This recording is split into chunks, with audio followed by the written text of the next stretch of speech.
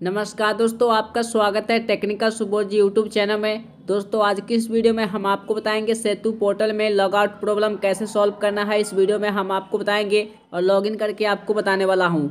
जी हाँ दोस्तों, इस वीडियो में हम आपको बताएँगे सेतु पोर्टल में लॉग आउट का जो प्रॉब्लम है, ये कैसे ठीक होगा, कैसे आपको लॉगिन करना है, कैसे आप आयुष्मान कार्ड का काम करेंगे। इस वीडियो में आपको बताएँगे तो वीडियो को पूरा देखिएगा। तो सबसे पहले हम सेतु पोर्टल ओपन कर लेते हैं, पी एम जे वाई। लिख के आप सर्च कीजिएगा, आपके सामने जो है सेतु पोर्टल आ जाएगा। दोस्तों पी एम जे वाई लिख के सर्च करेंगे, आपके सामने ये है Setu portal.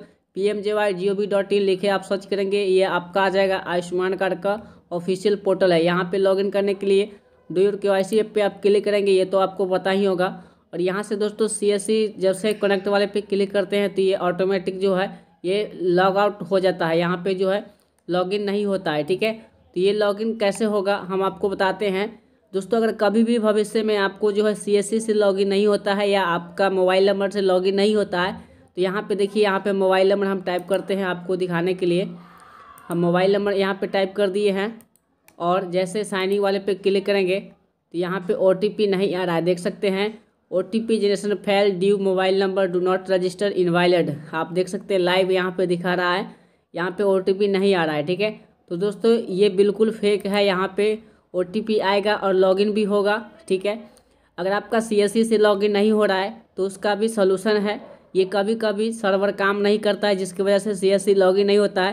हालाँकि बारह तेरह घंटा बाद दोबारा ट्राई कीजिएगा तो हो जाता है, ठीक है? तो ये कल का टाइम में जो है सी एस सी यहाँ से लॉगिन नहीं हो रहा था सी एस सी से, ठीक ऑपरेटर आईडी से लॉगिन ही नहीं हो रहा था ऑटोमेटिक बैक हो जा रहा था। अब मोबाइल नंबर का प्रॉब्लम है कि मोबाइल नंबर से भी लॉगिन नहीं होता है, ठीक है? तो देखिए, इसका सोल्यूशन हमारे पास है। हम क्या करेंगे? सिंपली ऊपर में थ्री डॉट आपको दिख रहा है। ये देखिए, यहाँ पे। इस पर क्लिक कीजिएगा और यहाँ पे थोड़ा सा इसको जूम कीजिएगा और यहाँ पे एक ऑप्शन आपको मिलेगा। आप ध्यान से देखिएगा बेनिफिशियल डाटाबेस आपको जो ये ऑप्शन मिला बेनिफिशियल डाटाबेस इस पर क्लिक कीजिएगा और यहाँ पे ऑप्शन आ जाएगा। सिर्फ़ मोबाइल नंबर का ऑप्शन आएगा यहाँ पे। ऑपरेटर आईडी सीएससी का ऑप्शन नहीं आएगा, ठीक है? यहाँ पे बेनिफिशियल आएगा जिसको पर्सनली जो पब्लिक के लिए काम होता है, यही होगा यहाँ से, ठीक है? तो यहाँ पे आपका जो भी मोबाइल नंबर यहाँ पे टाइप करेंगे। जैसे कि मैं यहाँ पे एक मोबाइल नंबर टाइप कर लेता हूँ, हम अपना, और आपको लाइव दिखाएँगे लॉगिन करके, ठीक है? फोर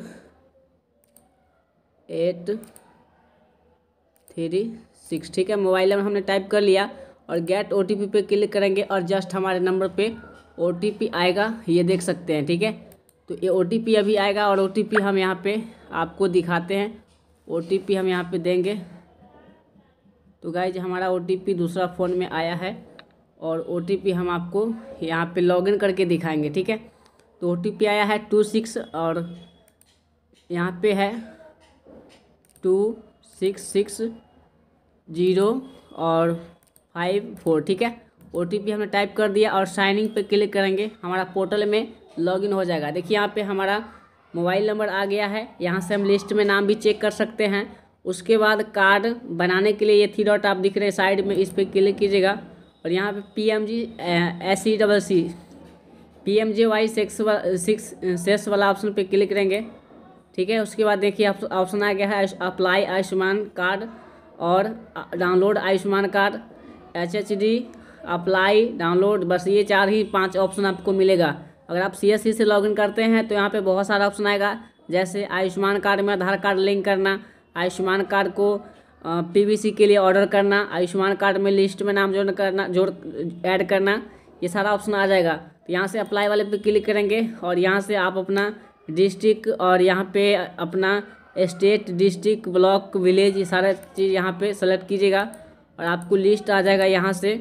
और लिस्ट में नाम देख कर के आपको जो है कार्ड बनाना पड़ेगा, ठीक है?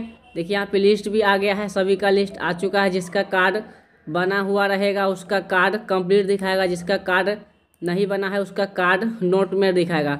ये सारे एरिया में कार्ड अभी नहीं बना है तो कार्ड नोट में दिखा रहा है, इसको हम वी पे क्लिक करेंगे, यहाँ पे, और यहाँ से कार्ड हम बना सकते हैं। तो गाइज़ इस तरीके से नाम चेक किया जाता है आयुष्मान कार्ड में, और कार्ड भी बनाया जाता है, इसी तरीके से तो आप बना सकते हैं। तो दोस्तों, यहाँ पे लिस्ट में नाम चेक किया जाएगा और पोर्टल बिल्कुल इस तरीके से आप लॉगिन कर सकते हैं। लॉगिन प्रॉब्लम इस तरीके से सॉल्व कर सकते हैं। तो ये वीडियो आपको कैसा लगा?